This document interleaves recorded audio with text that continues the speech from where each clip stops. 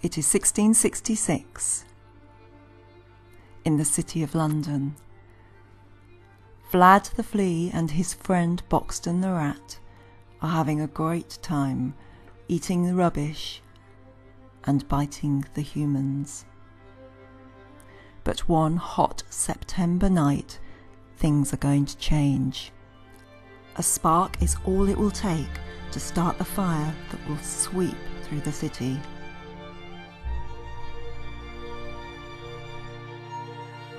Vlad and Boxton witness the efforts of the Londoners as they fight to rescue their families, save their homes and their possessions. The friends must try to make it to the safety of the fields outside the city walls.